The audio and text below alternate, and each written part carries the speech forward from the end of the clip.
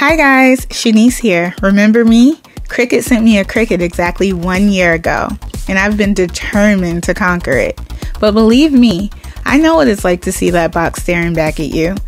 In one year's time, I went from total newbie to just coming off a tour where I taught Cricut demos to thousands. I'm also a designer for the company's program Design Space.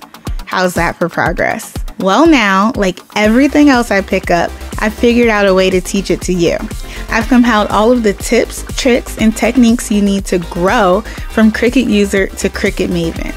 You need this course and the private support group that comes with it.